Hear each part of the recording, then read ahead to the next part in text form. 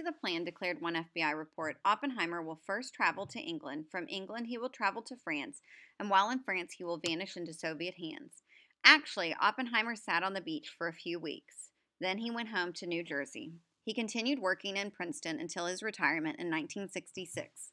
That same year, he was diagnosed with cancer of the throat. He died in 1967 at the age of 62.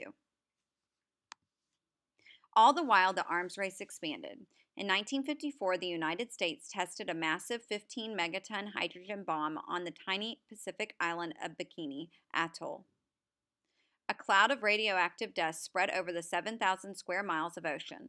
To this day, the radioactive soil of Bikini Atoll makes the island uninhabitable. Soviet bomb makers responded with the biggest atomic explosion in history, an incredible 50 megaton monster. The test knocked down brick buildings 25 miles from the blast. The shockwave cracked windows 500 miles away. Other countries decided they needed the bomb as well. Great Britain tested its first atomic bomb in 1952. France followed with its first bomb test in 1960. Then came China in 1964 and India in 1974. The United States and Soviet Union continued racing. The race was no longer to build bigger bombs. The bombs were already too big for any possible target. The race was to the race was to build more bombs in faster and more accurate ways to deliver them by airplane, submarine, and missile. By the mid 1980s, the two sides had a total of 65,000 nuclear bombs. Each side could now destroy the other's cities within minutes of the start of the war. The rivals had enough bombs to destroy all human life, many times over. The world has since stepped back a bit from this cliff. In the late 1980s, the United States and USSR began negotiating treaties to reduce the number of atomic weapons. The reductions have continued since the end of the Cold War. Together, the United States and Russia now have about 22,000 atomic weapons. But other countries have joined the nuclear club. Pakistan tested a uranium fission bomb in 1998. North Korea has had the bomb since 2006. Israel may have about 80 atomic bombs, though it will not officially confirm or deny its bomb program. In 2011, United Nations inspectors announced that they have found evidence that Iran was very likely working in secret to build its own atomic arsenal. The big question is will any of these bombs ever be used? Most of the world's atomic bombs are still in the hands of the United States and Russia.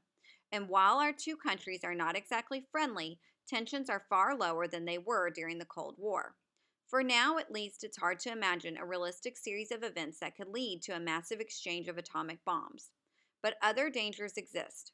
One is the nightmare scenario of a terrorist group getting hold of an atomic weapon.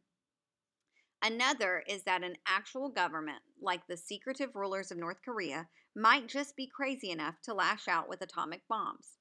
Or longtime enemies, India and Pakistan, could go to war, as they have several times, and this time the shooting could escalate into a nuclear battle. And if you think atomic explosions in, in Asia wouldn't affect Americans, consider this.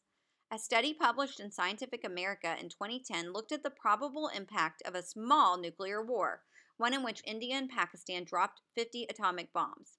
The scientists concluded that the explosions would ignite massive firestorms, sending enormous amounts of dust and smoke into the atmosphere. This would block some of the sun's light from reaching the Earth, making the planet colder and darker for about 10 years. Farming would collapse, and people all over the globe would starve to death. And that's if only half of 1% of all the atomic bombs on Earth were used. In the end, this is a difficult story to sum up. The making of the atomic bomb is one of history's most amazing examples of teamwork and genius and poise under pressure. But it's also the story of how humans created a weapon capable of wiping our species off the planet. It's a story with no end in sight. And like it or not, you're in it.